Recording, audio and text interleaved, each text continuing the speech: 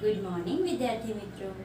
ચાલો, પર્યાવરણમાં પ્રકરણ વીસ, જંગલો, કોનામાં આગળ વધીએ.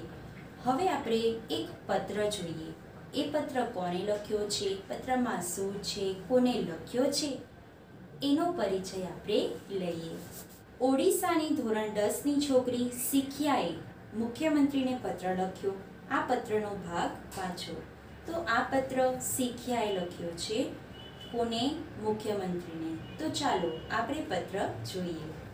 અમારા જેવા વનવાસીઓ માટે જંગલ બધું જ છે. અમે એક દિવસ માટે પણ જંગલોથી દૂર રહી શકતા નથી. સરકારી વિકાસના નામ પર ઘણી બધી યોજનાઓ જેવી કે બંધ અને ફેક્ટરીઓ બાંધવી વગેરે ચાલુ કરી છે. જંગલો જે અમારા છે તે અમારી પાસેથી લઈ લેવામાં આવ્યા છે.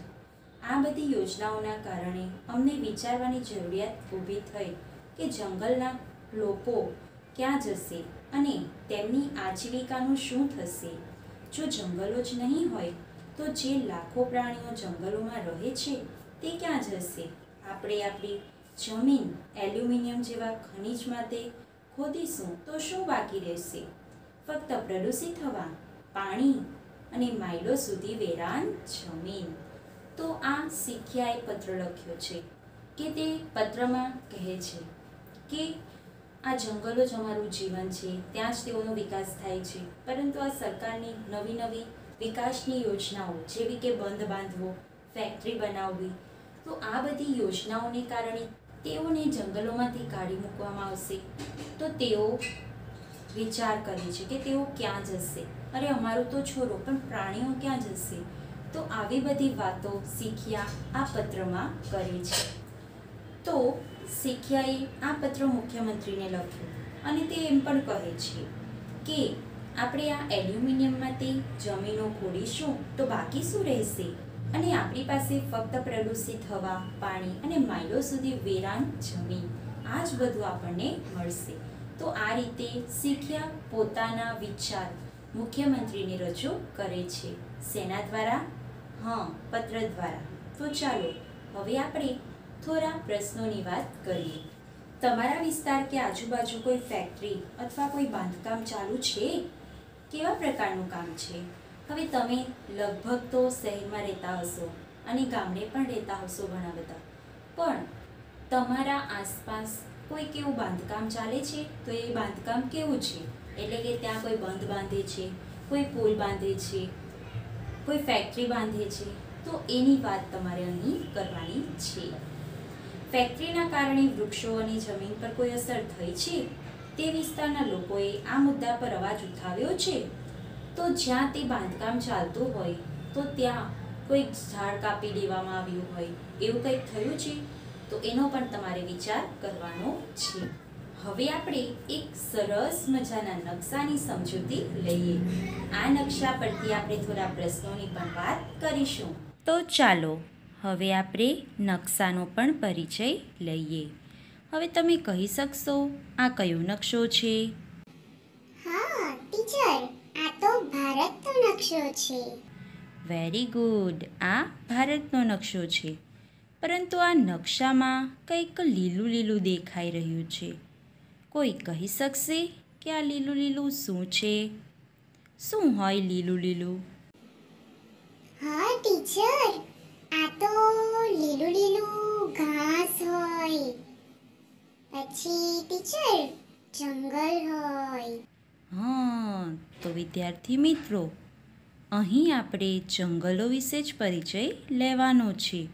તો આ નકશામાં તમે લીલું લીલું જોઈ રહ્યા છો.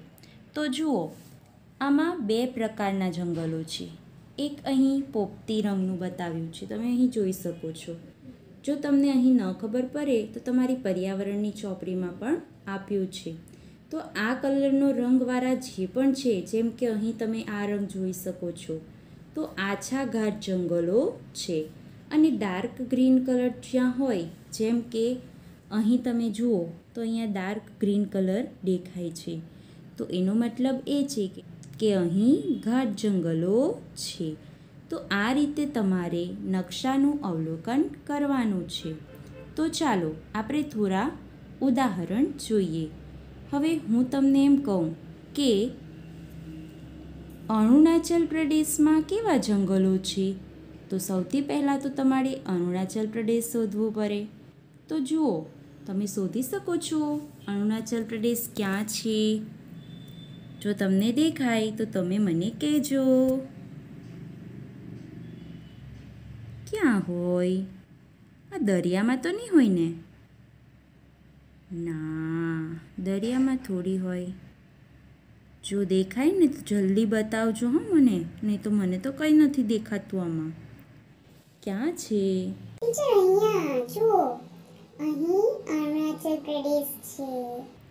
હા તો જુઓ અહીં કેવા જંગલો લાગે છે? હા અહીં આપણને ઘાટ જંગલો દેખાય છે કારણ કે અહીં ડાર્ક ગ્રીન કલર છે. તો આ રીતે તમે ગેમ પણ રમી શકો છો તમારા ફ્રેન્ડ સાથે. તો આ રીતે આપણે નકશાનું અવલોકન કરવાનું છે. હવે આપણે એના પરથી થોડા પ્રશ્નોની પણ વાત કરી લઈએ.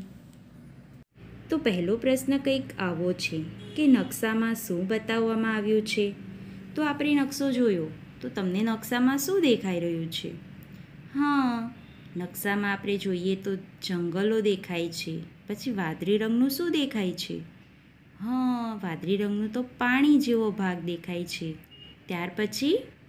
હા, રાજ્યના નામ આપ્યા છે. દેખાય છે ને? ચાલો, હવે આપણે બીજો પ્રશ્ન જોઈએ. તો બીજો પ્રશ્ન જુઓ. તમે શીખ્યાનો પત્ર વાંચ્યો? નકશામાં ઓડિશા શોધો. તો આ આપણો નકશો છે. એમાં આપણે ઓડિશા શોધવાનું છે. તો જુઓ, અહીં મને ઓડિશા દેખાઈ રહ્યું છે. તો આ શું છે? ઓડિશા. વેરી ગુડ પછી આપણો ત્રીજો પ્રશ્ન એવો છે કે ઓડિશાની નજીક દરિયો છે, તમે કેવી રીતે શોધશો? તો સૌથી પહેલાં આપણે દરિયો જોવાનો. તો દરિયા કિનારે. તો આ લાઈન પર ધ્યાન કરવાનું. તો એની કિનારે આવેલા રાજ્યો જુઓ. તો એમાં ઓડિશા દેખાશે. હા. તો આપણે જોઈ શકીએ છીએ કે આ ઓડિશા છે અને એની નજીકમાં આ દરિયો છે. કયા કયા રાજ્યોની એક બાજુ દરિયો આવેલો છે? ત્યાર પછીનો પ્રશ્ન છે કે કયા કયા રાજ્યમાં એક બાજુ દરિયો છે? એક બાજુ મહારાષ્ટ્ર જોઈએ તો એ એક બાજુ દરિયો કહેવાય. કર્ણાટકમાં એક બાજુ દરિયો, કેરળમાં એક બાજુ દરિયો, તમિલનાડુનો એક બાજુ દરિયો આવે છે. આંધ્રપ્રદેશનો એક બાજુ દરિયો. આ રીતે કિનારા પર જેટલા પણ રાજ્ય આવ્યા હોય છે એ બધાને એક બાજુ દરિયો છે એમ કહેવાય.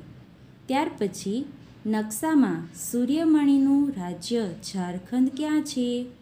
તો શોધો તમને ક્યાંક દેખાય તો મને કહેજો કે આમાંથી ઝારખંડ ક્યાં છે? ક્યાં સંતાઈ ગયું છે? ઉત્તર પ્રદેશ તરફ. ઉત્તર પ્રદેશ તરફ. ઓહો, આ તો ડાર્ક છે ને એટલે દેખાતું નથી.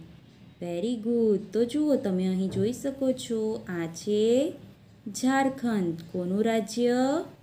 હા, સૂર્યમણીનું. વેરી ગુડ ત્યાર પછીનો પ્રશ્ન છે, નકશામાં જંગલો ક્યાં છે? તમે આ કેવી રીતે શોધશો? હવે એ તો આપણને ખબર પડી ગઈ ને કે આપણે બે પ્રકારના જંગલો છે, એક આછા ઘાત જંગલો અને ઘાટ જંગલો. તો અહીં જે લીલા રંગનું જેટલું પણ દેખાય છે એ બધા જંગલો છે. ત્યાર પછી કયા રાજ્યમાં ઘાટ જંગલો છે અને કયા રાજ્યમાં આછા જંગલો છે તે તમે કેવી રીતે શોધશો? તો આપણને અહીં બે રંગ આપ્યા છે. એના પરથી આપણે શોધી શકીએ કે આછા ઘાટ જંગલો ક્યાં છે અને ઘાટ જંગલો ક્યાં છે. ત્યાર પછી જો કોઈ મધ્યપ્રદેશમાં હોય તો તેના માટે દેશની કઈ દિશામાં ઘાટ જંગલો હશે તે રાજ્યોના નામ લખો. હવે સૌથી પહેલાં તો આપણે મધ્યપ્રદેશ શોધવું પડે. તો અહીં આપ્યું છે મધ્યપ્રદેશ.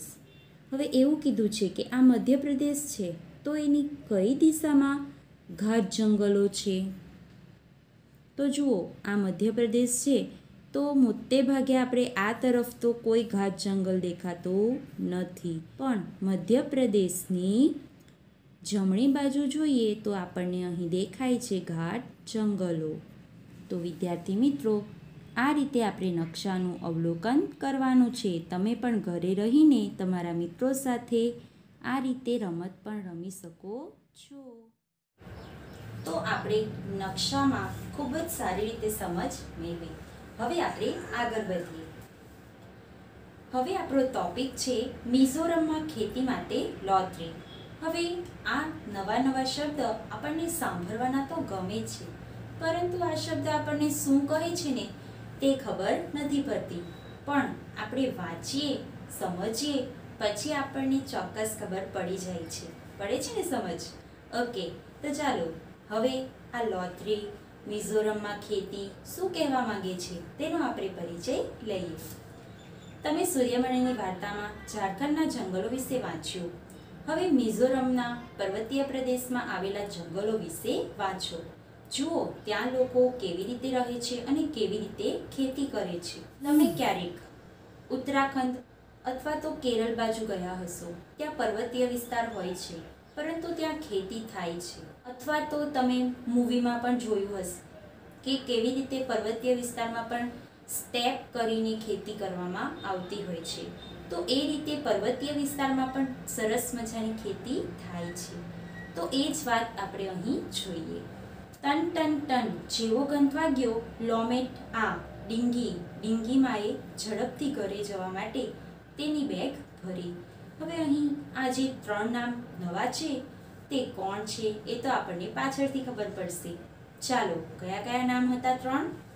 લોમેટ, આ, ડીંગી અને ડીંગીમાં. આ ત્રણ નામ મને એવું લાગે છે કે કોઈ છોકરાના હશે. ચાલો, કોના છે તે પણ આપણે જોઈએ. રસ્તામાં તેઓ ઝરણા પાસે વાંસમાંથી બનાવેલા કપથી પાણી પીવા ઊભા રહ્યા. આજે ફક્ત બાળકો જ નહીં, પણ તેમના સાઈમાસર પણ ઉતાવળમાં હતા. હવે આ ત્રણ બાળકો હતા કે તેઓ ઘરે જતા હતા અને રસ્તામાં એક ઝરણું આવે છે, તો વાંસના કપમાં તેઓ પાણી પીવા માટે ઊભા રહે છે. અને આજે ફક્ત તે ત્રણ બાળકો જ ન હતા, પણ તેમની સાથે સાઈમાં પણ ઉતાવળમાં હતા. આજે ત્યાં પંચાયતની સભા મળવાની હતી. તે સભામાં લોટરી નીકળવાની હતી. તે કયા પરિવારને ખેતી કરવા કેટલી જમીન મળશે? જમીન આખા ગામની હતી. કોઈ એક વ્યક્તિની ન હતી. તેથી તેઓ જમીનના જુદા જુદા ભાગોમાં ખેતી કરવાવાળા રાખતા હતા.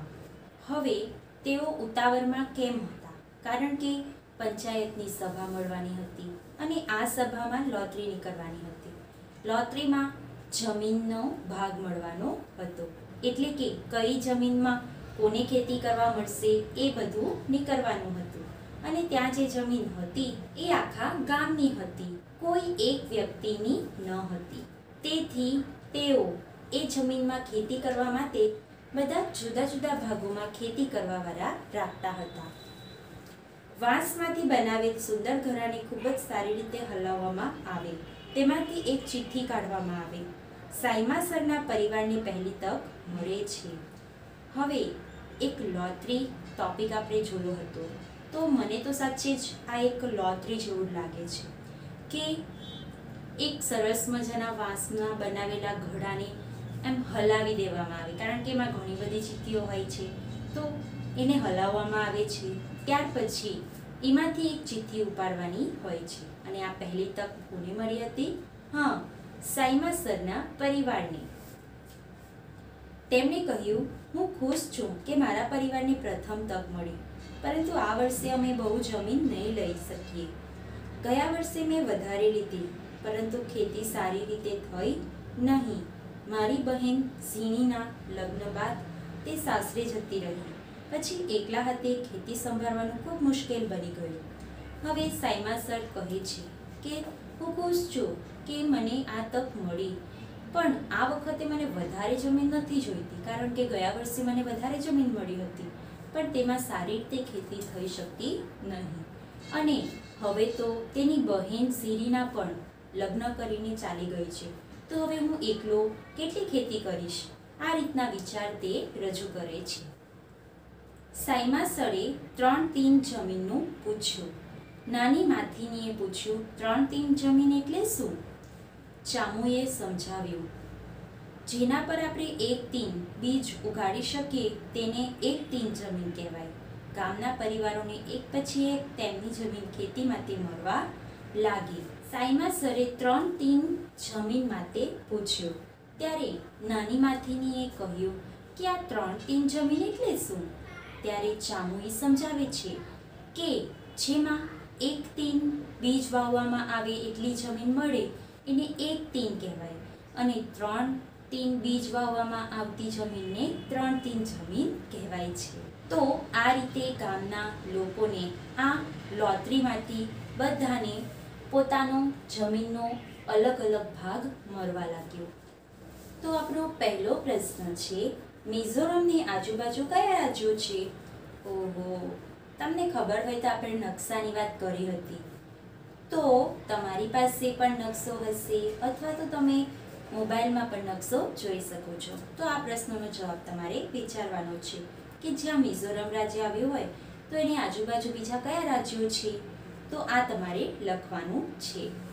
ત્યાર પછીનો પ્રશ્ન છે, ચામુએ કહ્યું, તેઓ તીન એકમનો ઉપયોગ કરી જમીન માપે છે. તો જમીન માપવાના બીજા કયા ઉપાયો છે? ચામુએ આપણને તીન શબ્દ સમજાવ્યો, પણ જમીન માપવા માટે બીજા પણ ઘણા ઉપાયો હોય છે. જેમ કે, હેક્ટર, ગુંથો, વિંગો, આ બધા જમીનના માપનના એકમો છે. તો એવા બીજા કયા ઉપાયો છે? તો એ અમારે વિચારવાના છે. શાળાએથી પાછા ફરતા બાળકો ફાંસના કપમાં પાણી પીતા હતા. તમારા મતે એ કપ કોણે બનાવ્યો હશે અને જંગલમાં મૂક્યો હશે? કેમ? તો આપણે જોયું હતું કે શાળાએથી જેવા બાળકો ઘરે આવે છે તો રસ્તામાં તેઓ પાણી પીવા ઝરણા પાસે ઊભા રહે છે. તો શું એ જે કપ હતો એ કોણે બનાવ્યો હશે? અને શું એ ત્યાં જ મૂક્યો હશે? અને શું કરવા? તો આ પણ તમે વિચારજો. જંગલો બચાવવા શું કરી શકાય? અરે વાહ. આટલું બધું આપણે સૂર્યમણિ વિશે વાત કરીને તો હવે તો તમને ખ્યાલ આવી ગયો હશે કે આપણે જંગલો બચાવવા માટે કઈ શું કરી શકીએ. અને તમે શું કરી શકો? આ તમારે વિચારવાનું છે કે તમે સૂર્યમણિની જગ્યાએ હોવ તો તમે જંગલો બચાવવા માટે બીજા કયા ઉપાયો વિચારી શકો? તો આ પણ તમે વિચારજો. તો હવે પછી આપણે ફરી મળીશું નવા ટોપિક સાથે.